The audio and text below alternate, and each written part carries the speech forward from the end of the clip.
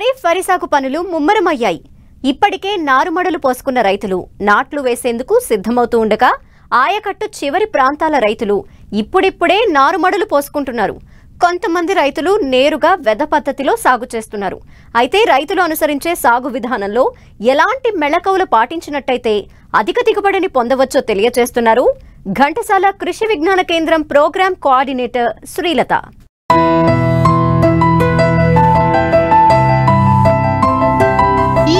వర్షాలు ఆలస్యంగా కురిశాయి. అయితే ముందుగా వరి నాళ్ళు పోసుకున్న రైతాంగం నాట్లను వేస్తున్నారు. కాలువలు చెరువుల కింద వరి సాగు చేసే రైతులు ఇప్పుడిప్పుడే నాట్లు వేసేందుకు సిద్ధమవుతున్నారు. మరికొన్ని ప్రాంతాల్లో ఇప్పుడిప్పుడే నారుమడులు పోస్తున్నారు. నీటి సదుపాయం తక్కువగా ఉన్న ప్రాంతాల్లో ప్రత్యామ్నాయ మార్గాల వైపు మొగ్గు చూపుతున్నారు. వీటిలో డ్రమ్ సీడర్తో నేరుగా దమ్ములో విత్తే విధానం పొడి దుక్కిలో వరి విత్తే సాగు విధానాలు రైతులు అవలంబిస్తున్నారు. నాట్లు ఏ పద్ధతిలో వేసినా మనం చేపట్టే సాగు విధానాలపైనే దిగుబడులు ఆధారపడి ఉంటాయి.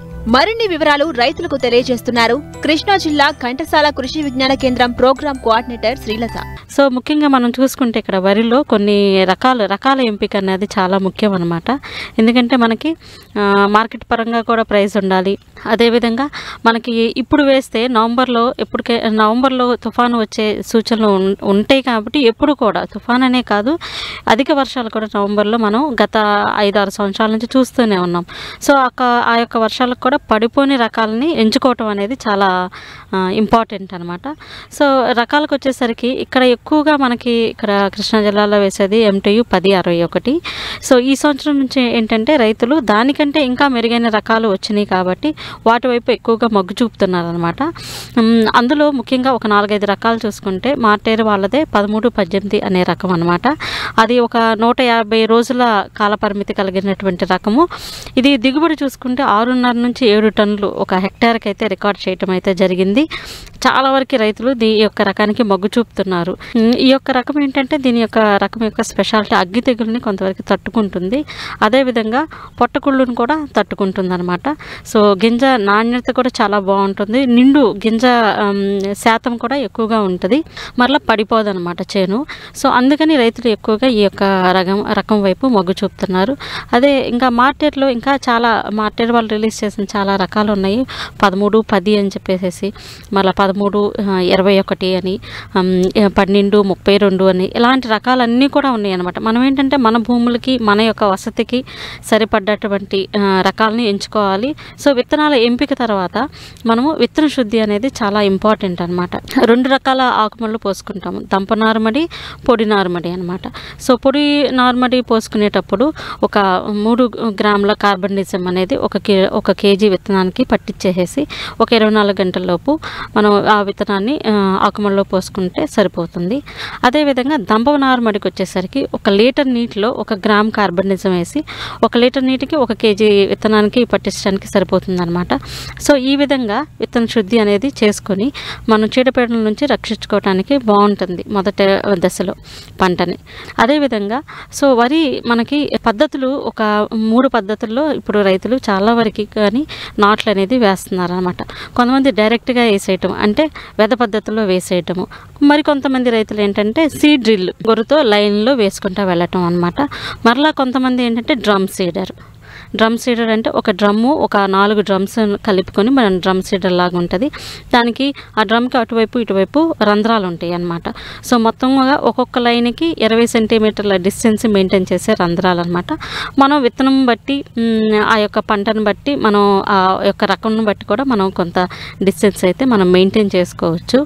అదేవిధంగా దుబ్బుకి దుబ్బుకి కూడా ఒక ఐదు నుంచి ఆరు సెంటీమీటర్ల డిస్టెన్స్ ఉండేటట్లు సెట్ చేసుకొని మనం ఆ డ్రమ్ సీడర్లో పోసుకోవచ్చు అనమాట సో డ్రమ్ సీడర్లో ఉపయోగించేటప్పుడు ఏంటంటే మెయిన్గా ఇక్కడ ఏంటంటే మొలక వచ్చింది. జస్ట్ ఒక పొట్ట పగిలి మనం ఆ తెల్ల వెన్ను బయటకు వస్తుంది కదా కొంచెం జాగ్రత్తగా రైతులు చూసుకొని ఆ డ్రమ్ముల్లో నింపుకొని డ్రమ్ముల్లో నింపుకోవడం అంటే నిండుగా కూడా నింపుకోకూడదు. మూడున్నర అంటే త్రీ బై ఫోర్త్ ఒక మూడు భాగాలు మాత్రమే నింపుకొని ఒక భాగం వరకు అయితే ఖాళీ ఉంచి అది నింపిన తర్వాత లైన్గా లాక్కొని వెళ్ళటమేనమాట సో ఒక్కొక్క ఎకరానికి సుమారుగా ఒక రెండు గంటలు అయితే టైం పడుతుంది ఒక మనిషికి లాక్ వెళ్ళటానికి. అదేవిధంగా దీనిలో ఏంటంటే కూలీల సమస్య మనకి చాలా వరకు తగ్గిద్ది. సో ఈ మూడు రకాలుగా వెద పద్ధతుల్లో రైతులు ముందుకు వెళ్తున్నారు చాలా సక్సెస్ఫుల్గా చేసుకుంటున్నారు. అదేవిధంగా మామూలు ఆకు ఆకుమడికి వచ్చేసరికి ఆకుమడి పోసి కొంతమంది ట్రాన్స్ప్లాంట్ చేసుకోవాలి. మేము మామూలుగానే పాత పద్ధతిలోనే అట్లా ట్రాన్స్ప్లాంట్ చేసుకోవాలి అనుకున్న వాళ్ళు కూలీల సమస్య లేనప్పుడు చేసుకోవచ్చు అనమాట అందులో ప్రాబ్లం లేదు. అది కూడా చేసుకోవచ్చు. సో మనం ఇక్కడ సీడ్ రేటు అంటే విత్తనం యొక్క మోతాదు దగ్గరికి వచ్చేసరికి మామూలు పద్ధతిలో మనకి మనకి సిఫార్సు చేసింది అయితే పాతి కేజీలు ఉంటుంది ఎకరానికి. అదేవిధంగా ఇప్పుడు మనకి వెద పద్ధతిలో చూసుకుంటే చాలా తక్కువ సీడ్ రేట్ కూడా అనమాట విత్తన మోతాదు కూడా చాలా తక్కువగా ఉంటుంది. సీడ్ డ్రిల్కి వచ్చేసరికి పన్నెండు నుంచి పదిహేను కేజీలు.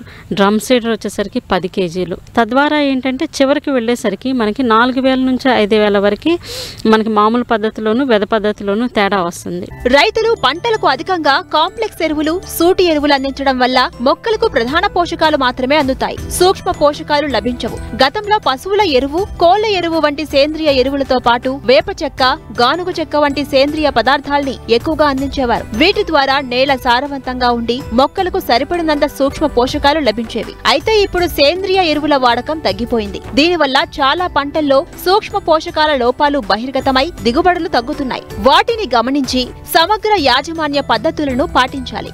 సో నార్మడి తయారు చేసుకొని వేసేటప్పుడు కూడా కొంతవరకు మనకి ఈ యొక్క ఎరువులు సిఫార్సు చేసిన ఎరువులు అయితే వేయాల్సిందే.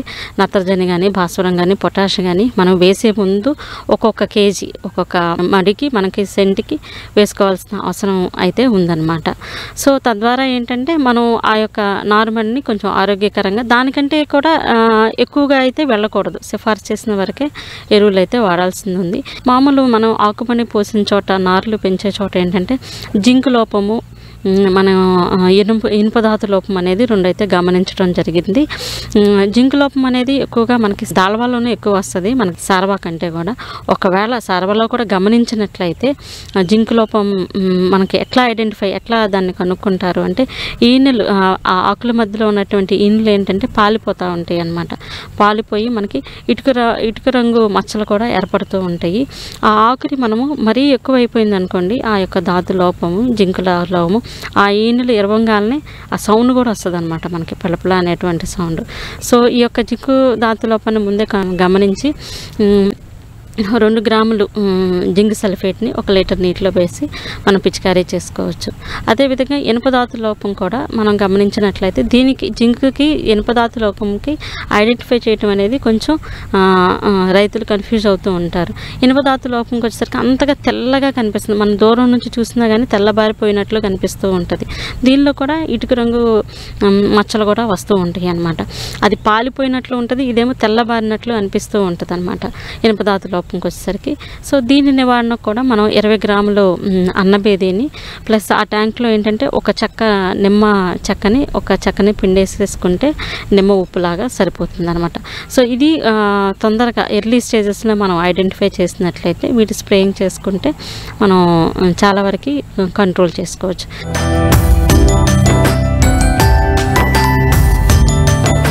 తెలుగు రాష్ట్రాల్లో విత్తే ప్రధాన వాణిజ్య పంటలలో పత్తి అగ్రస్థానంలో ఉంది. ప్రస్తుతం విత్తిన పత్తి ఇరవై నుండి ముప్పై ఐదు రోజుల దశలో ఉంది. ఇటీవల వరుసగా కురిసిన వర్షాలకు పత్తి పంటలో కలుపు విపరీతంగా పెరిగింది. పత్తి ఎదుగుదలకు కలుపు అడ్డంకిగా మారింది. సకాలంలో కలుపు నివారిస్తే నాణ్యమైన అధిక దిగుబడులను పొందేందుకు ఆస్కారం ఉంటుందని తెలియజేస్తున్నారు ఆదిలాబాద్ కృషి విజ్ఞాన కేంద్రం శాస్త్రవేత్త రాజశేఖర్.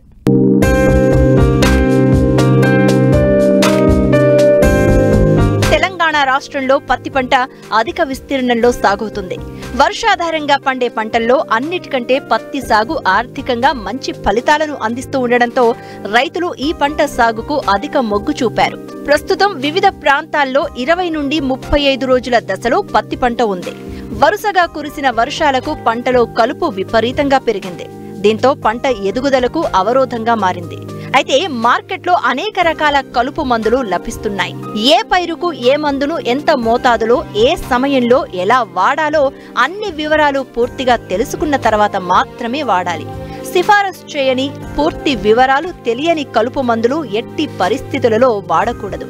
అలా వాడితే కలుపు నిర్మూలన సరిగ్గా జరగకపోగా కొన్ని సందర్భాలలో పంటలకు కూడా నష్టం వాటిల్లే ప్రమాదం ఉంది. తొలి దశలో పత్తిలో ఆశించే కలుపు నివారణ చర్యల గురించి రైతులకు తెలియచేస్తున్నారు ఆదిలాబాద్ కృషి విజ్ఞాన కేంద్రం శాస్త్రవేత్త రాజశేఖర్.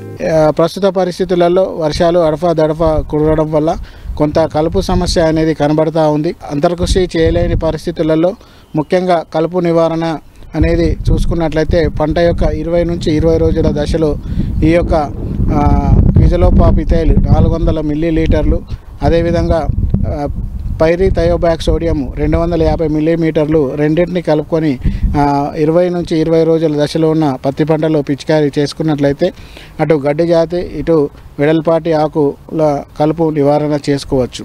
ఇదే రెండు కలిపిన ప్రోడక్ట్ కూడా మార్కెట్లో హిట్వీడ్ మ్యాక్స్ రూపంలో దొరుకుతూ ఉంది. అది ఎకరానికి ఐదు వందల మిల్లీ లీటర్ల చొప్పున పిచికారీ చేసుకున్నట్లయితే మరి ఈ ఈ రెండు రకాల గడ్డిని నివారించుకోవచ్చు.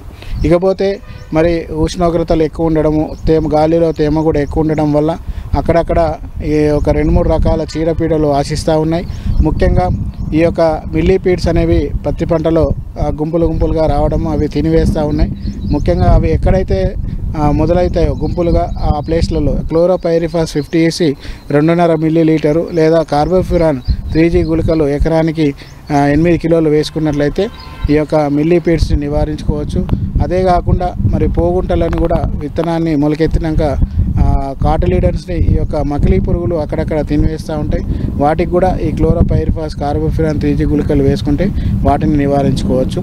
ఇకపోతే మరి కొంత వర్షం కురవక సడన్లీ అత్యధికంగా వర్షం కురవడం వల్ల ఈ యొక్క కాండపు కుళ్ళు కానీ వేరు కుళ్ళు కానీ అక్కడక్కడ గమనించడం అనేది జరుగుతూ ఉంది. ఏదైతే వేరు భూమి పై భాగంలో కాండం కాడ కొంత తెగుళ్ళు ఆశించి విరిగి పడిపోవడం అనేది గమనించడం జరుగుతూ ఉంది. సో వాటి నివారణకి ముఖ్యంగా ఈ యొక్క కార్బన్ డైజిన్ ప్లస్ మ్యాంకోజబు సాఫ్ రూపంలో దొరుకుతుంది. అది రెండు గ్రాములు లీటర్ నీటికి లేదా టెబుకొనజోల్ ట్రైఫ్లూఆక్సిస్టోపిన్ నేటివో రూపంలో దొరుకుతుంది. అది సున్నా పాయింట్ ఆరు గ్రాములు లీటర్ నీటి కలిపి సాయిల్ ట్రెంచింగ్ చేసినట్లయితే ఆ తెగుళ్ళను నివారించుకోవచ్చు. సో ఏదేమైనా కూడా ఈ ప్రాథమిక దశలో వచ్చే కీటకాలను తగు చర్యలు చేపట్టినట్లయితే పత్తి పంట ఎక్కువగా పెరిగే అవకాశం ఉంటుంది. ఖరీఫ్ పత్తిలో కలుపు అధికంగా ఇబ్బంది పెడుతుంది. వరుసల మధ్య దూరం అధికంగా ఉండడం వల్ల కలుపు పెరుగుతూ ఉంటుంది. అయితే శాస్త్రవేత్తల సూచనల ప్రకారం సకాలంలో కలుపు యాజమాన్యం చేపడితే నాణ్యమైన అధిక దిగుబడిని సాధించేందుకు వీలుంటుంది.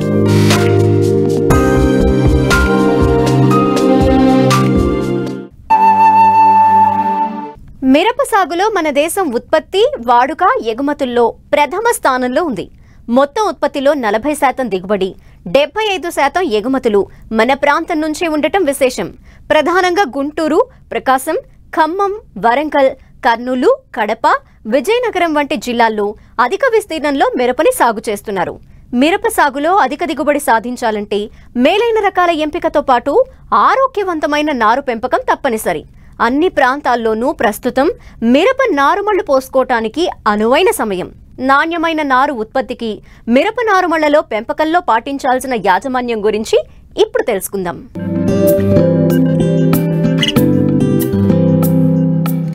భారతదేశంలో మిరప ఉత్పత్తికి మన ప్రాంతం పేరుగాంచింది. మిరపలో జాతీయ సగటు దిగుబడి హెక్టారుకు ఒకటిన్నర టన్ను ఉండగా మన ప్రాంతంలో అది మూడు టన్నులుగా ఉంది.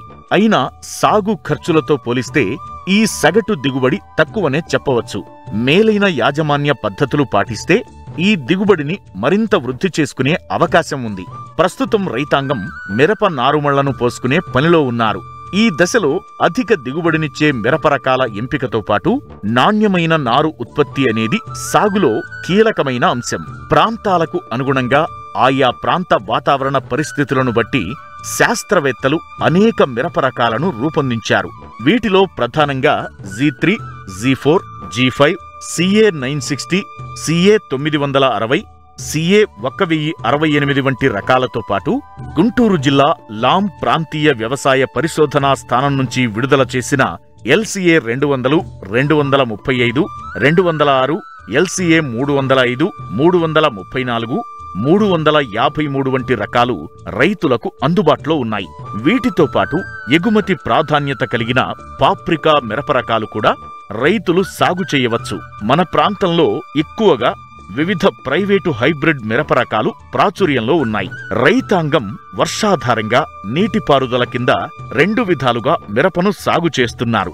కొంతమంది రైతులు మిరపను మొదట్లో పచ్చిమిరప కోసం పెంచి నాలుగైదు కోతలు తీసుకున్న తరువాత చివరి కోతలను ఎండు మిరప కోసం వదిలేయడం జరుగుతోంది. వర్షాధారంగా సాగు చేసే ప్రాంతాల్లో ఎండు మిరప సాగు ఒకటి రెండు కోతలకే పరిమితమవుతుంది.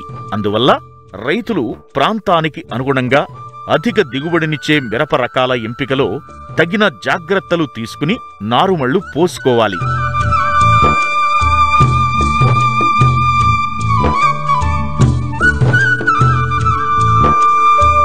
ఖరీఫ్లో మిరప విత్తనానికి జులై ఆగస్టు నెలలు అనుకూలం. సాధారణంగా మిరప నారుమళ్ళను నీటి వసతి ఉన్న ప్రాంతాల్లో పెంచడం జరుగుతుంది. విత్తేటప్పుడు సాంప్రదాయ పద్ధతులకు తోడుగా శాస్త్రీయతను జోడించి సాగులో తగిన మెళకువలు పాటించినట్లయితే మరింత ఆరోగ్యవంతమైన నారు పొందే అవకాశం ఉంటుంది. నారు పెంపకానికి సాధ్యమైనంత వరకు ఎత్తైన ప్రదేశాన్ని ఎంపిక చేసుకోవాలి. భూమిని నాలుగైదు సార్లు బాగా కలియదున్నాలి. ఆఖరి దుక్కిలో ఎకరానికి పది టన్నుల చొప్పున పశువుల ఎరువు వేసి కలియదున్నాలి. ఒక మీటరు వెడల్పు పదిహేను సెంటీమీటర్ల ఎత్తు ఉండేటట్లు నారుమడి తయారు చేసుకోవాలి.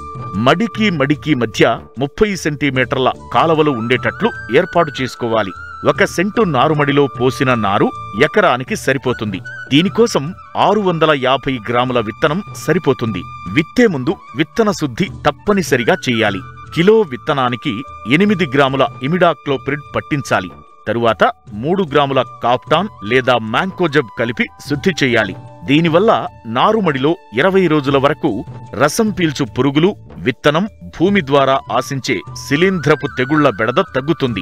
ఇవే కాకుండా జీవ శిలీంధ్రమైన ట్రైకోడెర్మా విరిడిను ఐదు గ్రాములు కిలో విత్తనానికి పట్టించి విత్తుకోవచ్చు. నారుమళ్ళు తయారు చేసుకున్న తరువాత విత్తనాన్ని వరుసల్లో విత్తుకోవాలి. వరుసల మధ్య ఐదు సెంటీమీటర్ల ఎడం ఉండేటట్లు చూసుకుని చిన్న గాడి చేసి విత్తనాన్ని విత్తాల్సి ఉంటుంది. విత్తిన తరువాత వర్మీ కంపోస్టు లేదా చివికిన పశువుల ఎరువులను పైపొరగా వేసి విత్తనంపై మట్టిని కప్పాలి.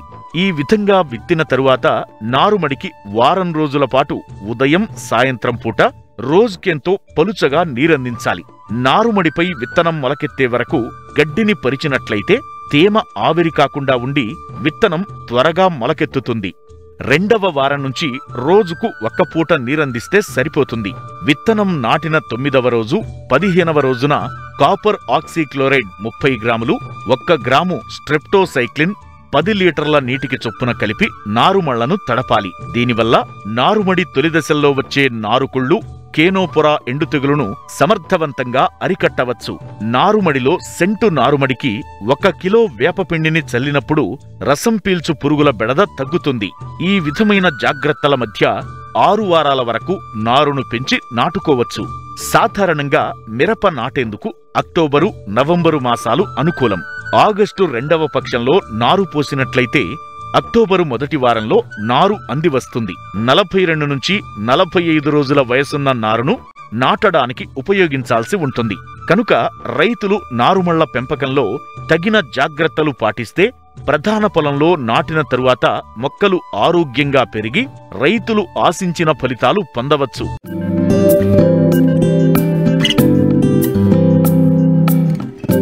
తెలుగు రాష్ట్రాల్లో అల్లం పంట దాదాపు ఎనభై నుండి వంద రోజుల దశలో ఉంది. అయితే వరుసగా కురిసిన వర్షాల వల్ల చాలా ప్రాంతాల్లో ఆకుమచ్చ తెగులు దుంపకుళ్ళు ఆశించినట్టు శాస్త్రవేత్తలు గుర్తించారు. దీన్ని సకాలంలో గుర్తించి నివారణ చర్యలు చేపడితే మంచి దిగుబడి పొందేందుకు అవకాశం ఉంటుంది. వీటి నివారణకు చేపట్టాల్సిన యాజమాన్య పద్ధతుల గురించి తెలియజేస్తున్నారు విశాఖ జిల్లా చింతపల్లి ఉద్యాన పరిశోధనా స్థానం శాస్త్రవేత్త డాక్టర్ వి శివకుమార్.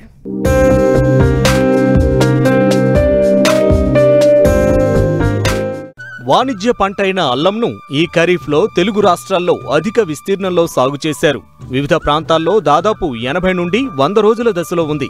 తెలంగాణ రాష్ట్రంలోని మెదక్ నిజామాబాద్ వరంగల్ కరీంనగర్ రంగారెడ్డి జిల్లాల్లో దాదాపు పదిహేడు వందల డెబ్బై ఒక్క హెక్టార్లలో సాగవుతూ ఉండగా విశాఖపట్నం కృష్ణా తూర్పుగోదావరి జిల్లాల్లో ఒక వెయ్యి అరవై ఎనిమిది హెక్టార్ల విస్తీర్ణంలో సాగవుతోంది.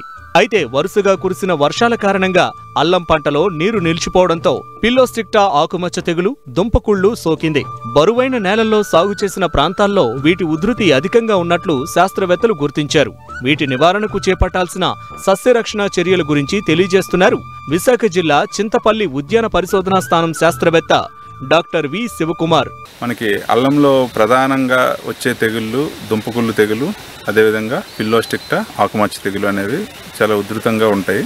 ప్రధానంగా ఏంటంటే దుంపకుళ్ళు తెగులు చూసుకున్నట్లయితే ఇది రావడానికి ప్రధాన కారణాలు ఏంటంటే మురుగునీరు పోకుండా నీరు నిల్చుండే పొలాలు అదేవిధంగా అధిక వర్షపాతం ఉండి ముప్పై డిగ్రీల కంటే ఎక్కువ ఉష్ణోగ్రత ఉన్నప్పుడు ఈ తెగులు ఉధృతి అనేది ఎక్కువగా జరుగుతుంది. అదేవిధంగా విత్తన శుద్ధి చేయనటువంటి పొలాల్లోన అలాగే పంట మార్పిడి చేయకుండా వేసే పొలాల్లో కూడా ఈ ఉధృతి అనేది దుంపకుళ్ళు ఉధృతి అనేది ఎక్కువగా ఉంటుంది. సో దీన్ని కంట్రోల్ చేసుకోవాలంటే కంపల్సరీగా ఏంటంటే మనం విత్తన శుద్ధి అనేది జాగ్రత్తగా చేసుకోవాలి. అదేవిధంగా విత్తనాన్ని ఎన్నుకునేటప్పుడు కూడా ఈ దుంపకుళ్ళు తెగులు సోకనటువంటి విత్తనాన్ని ఎన్నుకోవాలి.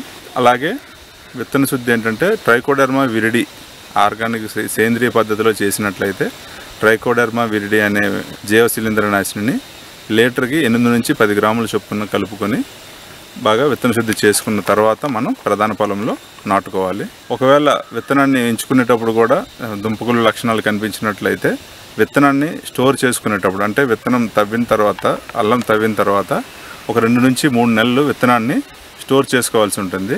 సో అప్పుడు కూడా ఏంటంటే విత్తన శుద్ధి అనేది చేసుకున్నట్లయితే మనకి ఈ స్టోరేజ్లో కూడా ఎటువంటి దుంపగుళ్ళు తెగుళ్ళు ఆశించకుండా ఉంటుంది. నాటిన తర్వాత ఒక వన్ మంత్ వరకు వచ్చే తెగుళ్ళ వరకు అయితే మనం ఆపగలం. అదేవిధంగా తెగులు రాకముందే మనం ఏంటంటే ట్రైకోడర్మా విరిడిని తొంభై కిలోల పశువులు గత్తం అదేవిధంగా పది కేజీల వేపపిండి రెండు కలిపిన మిశ్రమంలోన ఒక వారం రోజుల పాటు మనం చెట్టు నీడన చెట్టు నీడన కానీ లేకపోతే ఎక్కడ నీరు తడని తగలని ప్రదేశంలో కానీ నా వేసుకుని గోని పట్టాలు కప్పి మనం నీరుని చిలకరించినట్లయితే ఒక వారం రోజులకి మనకి బాగా మల్టిప్లై అవుతుంది. దాన్ని మనం పొలంలో వేసుకోవాలి. ఒకవేళ వచ్చినట్లయితే మనకి లక్షణాలు ఎలా ఉంటాయంటే మనకి తెగులు సోకినప్పుడు ఆకులు ఏంటంటే కింద వరుస నుంచి పైకి అలాగా ఆకులు పసుపుగా అయిపోవడం జరుగుతుంది. అదేవిధంగా ఏంటంటే ఆకులు ఈనుల మధ్యలో ఆకుపచ్చగా ఉంటుంది మిగతాదంతా పసుపచ్చగా అయిపోతుంది. సో ఇలాంటి లక్షణాలు ఉంటాయి. అదేవిధంగా ఏంటంటే ఈ దుంపకుళ్ళు తెగులు సోకిన దుంప నుంచి మనం ఈ పిలకలు లాగినట్లయితే సులువుగా మనకి పిలకలు వచ్చేసినట్టు వచ్చేస్తాయి. ఇటువంటి లక్షణాలు గమనించినట్లయితే మనం ఇమీడియట్గా ఏంటంటే సేంద్రియ పద్ధతిలో అయితే ట్రైకోడర్మా విరిడిని వేసుకోవాలి. అదేవిధంగా ఏంటంటే లీటర్కి మూడు గ్రాములు కాపరాక్సి క్లోరైడ్ కానీ లేదా రెండు గ్రాములు రెడోమిల్ ఎంజెడ్ కానీ మనం లీటర్ లీటర్ నీటి కలుపుని చొప్పుకొని చొప్పున కలిపి మొక్క మొదల చుట్టూ అదేవిధంగా చుట్టూ ఉన్న మొక్కల చుట్టూ కూడా డ్రెంచింగ్ చేసుకోవాలి. అదేవిధంగా ఈ విశాఖ గిరిజన ప్రాంతాల్లోనే ఎక్కువగా ఈ పాతల్లం తీసే పద్ధతి ఉంటుంది. అంటే నాటేటప్పుడు రెండు వందల నుంచి రెండు వందల యాభై గ్రాముల అల్లాన్ని నాటి ఆగస్ట్ సెప్టెంబర్ ఆ టైంలో ఏంటంటే మనకి పాతల్లం వేసిన పెద్ద కొమ్ములంతా విర విరగతీసి మార్కెట్లో అమ్ముకోవడం జరుగుతుంది. సో ఇటువంటి పద్ధతుల్లో కూడా ఏంటంటే మనకి విరిచినప్పుడు ఎటువంటి జీవ శిలీంద్రనాశనాలు కానీ లేకపోతే ఎటువంటి రసాయనాలు కానీ వేయరు. దా అదేవిధంగా ఏంటంటే ఆగస్ట్ సెప్టెంబర్ కాలంలో గిరిజన ప్రాంతాల్లోనూ వర్షపాతం కూడా అధికంగా ఉంటుంది. సో దానివల్ల ఏంటంటే మనకి దుంపకుళ్ళు ఆశించడానికి అవకాశం ఎక్కువగా ఉంటుంది. కనుక ఏంటంటే ఈ పాతల్లం తీసే పద్ధతి మానుకొని విత్తనాన్ని యాభై నుంచి అరవై గ్రాములు ఉండే విత్తనాన్ని వాడుకుంటే సరిపోతుంది. మనం కానీ గిరిజన ప్రాంతాల్లో చింతపల్లి పాడేరు అరకు ఈ గిరిజన ప్రాంతాల్లో మనకి రెండు వందల నుంచి రెండు వందల యాభై గ్రాములు వరకు విత్తనాన్ని సైజును వాడతారు. అది అంత అవసరం లేదు. మనకి యాభై నుంచి అరవై గ్రాములు వాడుకున్నట్లయితే సరిపోతుంది. అదేవిధంగా మనకి అల్లంలోన ఇంకొక తెగులు ఫిల్లోస్టిక్టో ఆకుమచ్చ తెగులు. ఈ తెగులు కూడా ఏంటంటే వాతావరణంలో తేమ అధికంగా ఉండి ఉష్ణోగ్రతలు ఏంటంటే ఇరవై ఐదు నుంచి ముప్పై డిగ్రీలు ఎక్కువ ఉన్నప్పుడు ఈ ఫిల్లోస్టిక్టో ఆకుమచ్చ తెగులు రావడానికి ఎక్కువగా అవకాశం ఉంటుంది. ఈ ఆకుమచ్చ తెగులు రాకముందే మనం ఏంటంటే ట్రైకోడర్మా విరిడిని లీటర్కి ఐదు గ్రాముల చొప్పున కలిపి పిచికారీ చేసుకున్నట్లయితే రాకుండా నివారించవచ్చు. ఒకవేళ వచ్చినట్లయితే కాపరాక్సి క్లోరైడ్ లీటర్కి మూడు గ్రాముల చొప్పున కలిపి ఆకులపైన పిచికారీ చేసుకున్నట్లయితే మిను మనం ఈ పిల్లోస్టిక్ ఆకుమచ్చ తెగులు అనేది నివారించడం జరుగుతుంది.